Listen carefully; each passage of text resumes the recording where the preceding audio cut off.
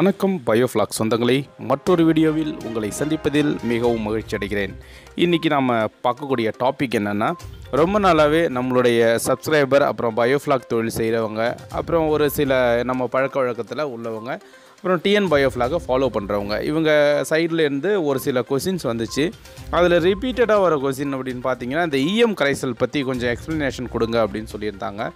So இஎம் கரைசல் பற்றியான explanation அப்படிங்கிறது பார்த்திங்க அப்படின்னா உங்களுக்கு இது ஒரு நல்ல ஒரு பாசிட்டிவ் ரிசல்ட்டை தான் உங்களுக்கு கொடுக்கும் இந்த பயோஃப்ளாகை பொறுத்தளவுக்கு. ரைட்டுங்களா ஸோ இந்த இஎம் கரைசல்னால் என்ன? இஎம் கரைசலில் என்ன இருக்குது இஎம் கரைசல் என்ன செய்யும்? அது எந்த அளவுக்கு பயோஃப்ளாகில் பயனுள்ளதாக இருக்குது அப்படிங்கிறத இந்த வீடியோவில் நம்ம பார்த்து தெரிஞ்சுக்கலாம். இந்த இஎம் கரைசல் பற்றி தெரிஞ்சுக்கிறதுக்கு முன்னாடி ஒரு விஷயத்தை நம்ம தெரிஞ்சுக்கணும். அது என்ன அப்படின்னு பார்த்தீங்கன்னா பொதுவாகவே இந்த உயிரினங்கள் அதாவது நிலப்பரப்பில் வாழ்கிற உயிரினங்களாக இருந்தாலும் சரி தான் நீர்நிலைகளில் வாழ்கிற உயிரினங்களாக இருந்தாலும் சரி தான் ஸோ இந்த உயிரினங்களுக்கு ஒரு சில கேஸ் அதாவது காற்று பாய்சன் தரக்கூடிய காற்றாக இருக்கும். சரிங்களா? இன்னும் குறிப்பாக சொல்லப்போனால் இந்த பாண்டு கல்ச்சர் பண்ணுறதில் இந்த மீன் வளர்ப்பு தொழில் செய்கிறவங்களுக்கு இந்த பிரச்சனை அதிகமாகவே வரும். என்னன்னு பார்த்தீங்கன்னா பொதுவாகவே இந்த ammonia sulphide oxide hydrogen methane chlorine போன்ற வாயுக்கள்லாம் என்ன பண்ணுன்னா இது உயிரினங்களை மிகவும் துன்புறுத்தும்.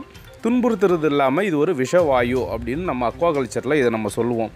ஸோ இது இயற்கையாகவே நம்மளுடைய இந்த நம்ம மீனுக்கு போடக்கூடிய உணவுகள் அப்புறம் மீனுடைய கழிவுகள் சின்ன சின்ன ஆல்கே வளருது இல்லைங்களா? ஸோ ஆல்கேல நிறைய டைப் இருக்குது அதாவது வளர்கிற பாசி ஃப்ளோக்லாம் இருக்குது இல்லைங்களா? அதில் நன்மை செய்யக்கூடிய பாக்டீரியாஸும் இருக்குது தீமை செய்யக்கூடிய பாக்டீரியாஸும் இருக்குது பொதுவாக இந்த பஞ்சகாவியத்தெல்லாம் யூஸ் பண்ணி பண்ணும்பொழுது இது மாதிரி தீமை செய்யக்கூடிய பேக்டீரியாஸ் அதிகமாக உற்பத்தி ஆகும் ஸோ அவங்களாம் என்ன பண்ணுவாங்க அப்படின்னா ஸோ இந்த பஞ்சகாவியம் ஃபார் எக்ஸாம்பிள் பஞ்சகாவியத்தை எடுத்துக்கிட்டோம்னா பஞ்சகாவியத்தில் என்ன பண்ணுவாங்கன்னா இஎம் சொல்யூஷன் ஒன்று சேர்ப்பாங்க ரைட்டுங்களா ஸோ வெறும் பஞ்சகாவியம் மட்டும் இல்லாமல் ஒரு இஎம் சொல்யூஷன் சேர்க்குறாங்க. ஒரு அது எதுக்கு அப்படின்னா இது மாதிரி விஷ வாயுக்கள்லாம் உருவாகிறத எடுக்கிறதுக்காக.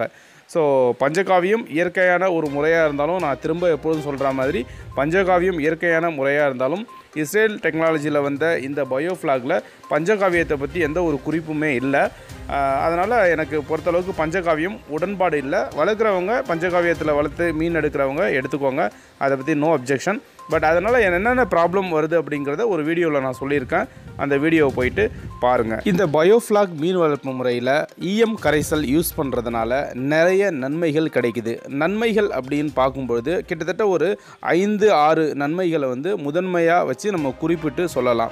இந்த இஎம் கரைசல் பார்த்தீங்கன்னா ஃபஸ்ட்டு இது வந்து ஒரு எக்கோ ஃப்ரெண்ட்லி அப்படின்னு சொல்லுவாங்க. இது வந்து இயற்கையாக தயாரிக்கப்பட்ட ஒரு சொல்யூஷன் இதில் எந்த ஒரு கெமிக்கலும் கிடையாது. எந்த ஒரு சைடு எஃபெக்டை ஏற்படுத்துகிற ஒரு விஷயமும் இதில் இல்லை. இது ஒரு ஃபெர்டிலைசர்டு அப்படின்னு சொல்லுவாங்க. அதாவது ந- ஒரு ஒரு மண்ணுடைய வளத்தை ஒரு மண்ணின் தரத்தை ஒரு செரிமானத்தை அதை மண் செரிச்சு போகுது அப்படின்னு சொல்லுவாங்க. ஸோ அந்த செரிமானத்தை மண்களுக்கு உள்ள செரிமானத்தை ஏற்படுத்தக்கூடிய அனைத்து வகையான ஒரு தன்மையும் தாது உப்புகளும் இந்த இஎம் சொல்யூஷனில் இருக்குது ஸோ சாதாரண மண்களையே இதை மக்க வைக்கும் பொழுது அந்த பயோஃப்ளாக் டேங்கில் உள்ள அந்த மீன்களுடைய கழிவு தேவையில்லாத அந்த ஸ்லேஜெலாம் கீழே தங்குது இல்லைங்களா? ஸோ அதை கண்டிப்பாக இது என்ன பண்ணுன்னா மக்க வச்சிரும். ஸோ அது மக்க வைக்கிறதுனால என்ன ஆகுதுன்னா ஃபிஷ்ஷுக்கு தேவையான உணவு கிடைக்குது. இது வந்து ஒரு ஃபஸ்ட்டு பாயிண்ட் ஸோ இது இயற்கையாகவே இது எக்கோ ஃப்ரெண்ட்லியாக இருக்கிறதுனால ஈஸியாக என்ன பண்ணிடுதுன்னா மீனுக்கு தேவையான உணவை இந்த கார்பன் பர்சன்டேஜ் நம்ம சேர்ப்போம் இல்லைங்களா? இந்த சிஎன் ரேஷியோ அப்படின்னு சொல்லுவாங்க. ஸோ இந்த சிஎன் ரேஷியோலாம் இந்த இஎம் கரைசல் யூஸ் பண்ணுறவங்க கவலைப்பட வேண்டிய தேவையில்லை.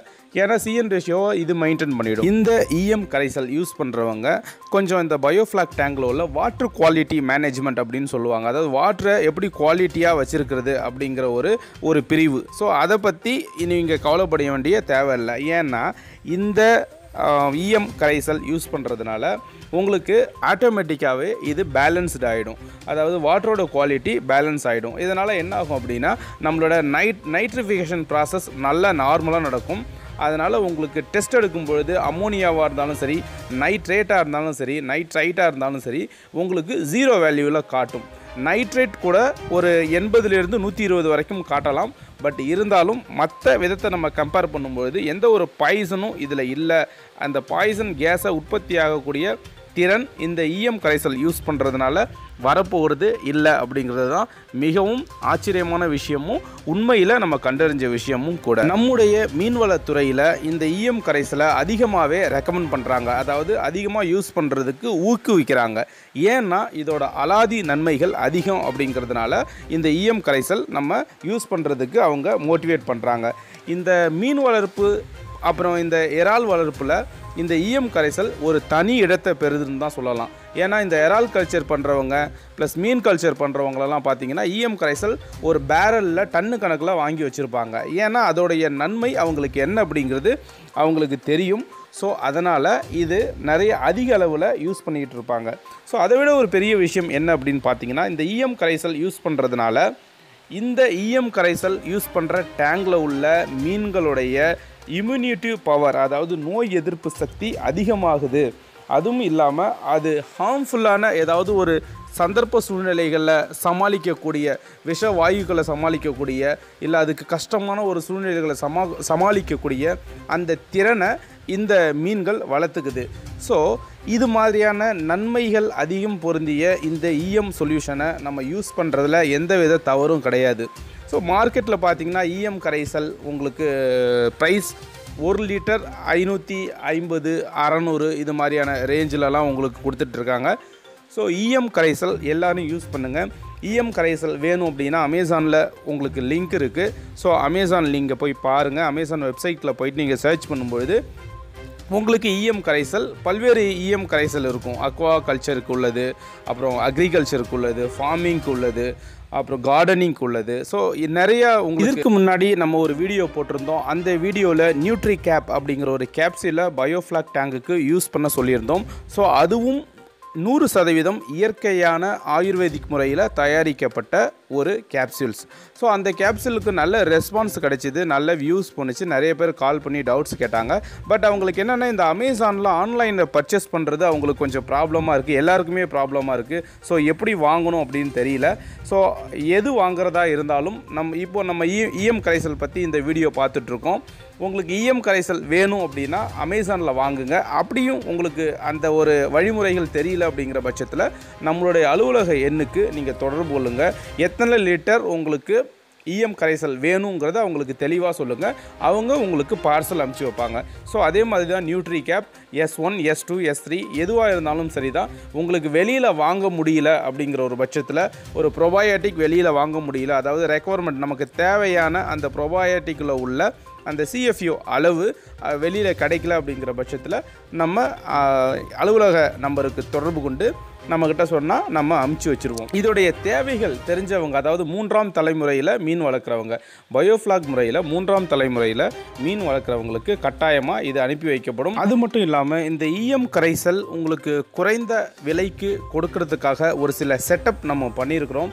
அந்த செட்டப் படி உங்களுக்கு மார்க்கெட் ப்ரைஸை விட ஒரு இரநூறுபா அதாவது டூ ஹண்ட்ரட் ருபீஸ் குறைச்சி கொடுக்க முடியுமா அப்படின்னு ட்ரை பண்ணிகிட்ருக்கோம் ஸோ பல்க் ஆர்டர் நம்ம எடுத்து உங்களுக்கு அதிலிருந்து லாபம் தர வகையில் உங்களுக்கு பிரித்து கொடுக்கறதுக்கு நம்ம நிறையா வழிவகை பண்ணிகிட்ருக்கோம் ஸோ உங்களுக்கு இஎம் கரைசல் வேணும் அப்படிங்கிற பட்சத்தில் நம்மளை நீங்கள் தொடர்பு கொள்ளலாம். அது மட்டும் இல்லாமல் இந்த இஎம் கரைசல் ஒரு அமோனியா ரெடியூசராகவும் இது பயன்படுது.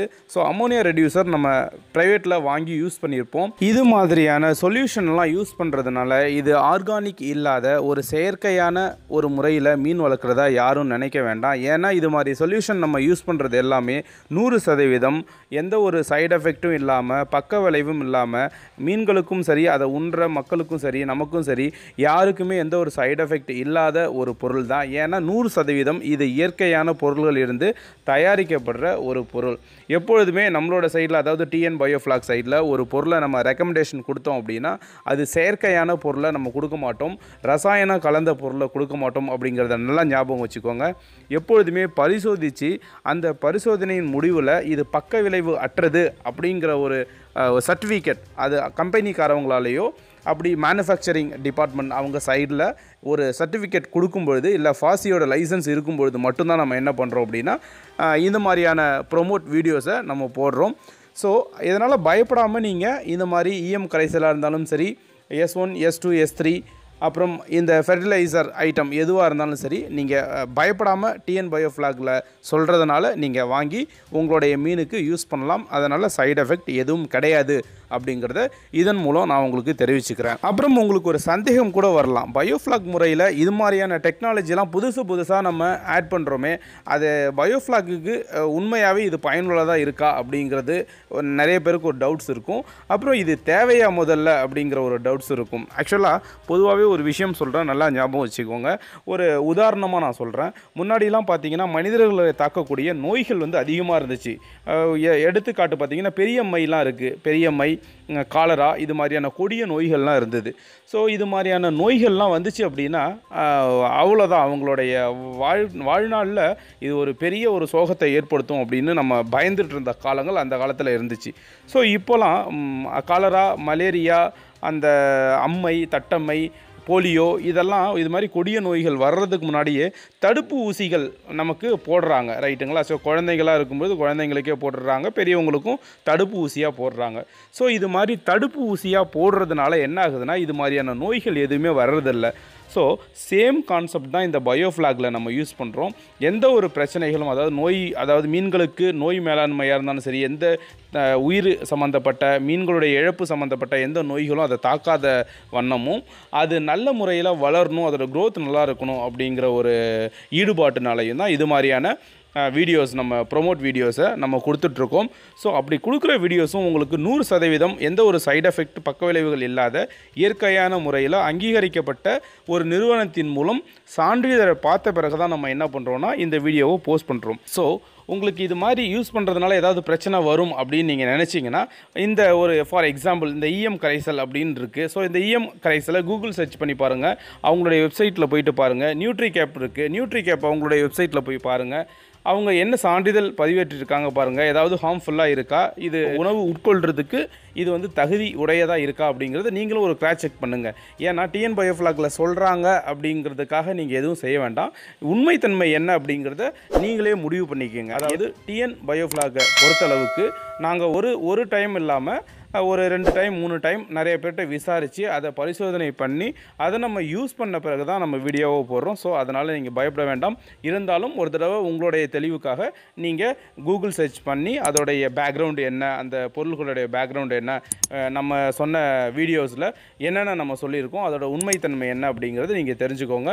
உங்களுக்கு இந்த பொருள்கள் தேவைப்படும் பட்சத்தில் நம்முடைய டிஎன் பயோஃப்ளாக் அலுவலகம் என்ன நீங்கள் தொடர்பு கொண்டு நீங்கள் வாங்கிக்கலாம். இந்த வீடியோவோட முடிவுக்கு நம்ம வந்துட்டோம். இந்த வீடியோ உங்களுக்கு மிகவும் பயனுள்ள வீடியோவாக இருந்திருக்கும். உங்களுடைய கேள்விகளையும் சந்தேகங்களையும் இந்த வீடியோ தீர்த்திருக்கும் அப்படிங்கிற நம்பிக்கையோட அடுத்த நல்ல வீடியோவில் சந்திக்கிறேன். அது வரைக்கும் நன்றி வணக்கம்.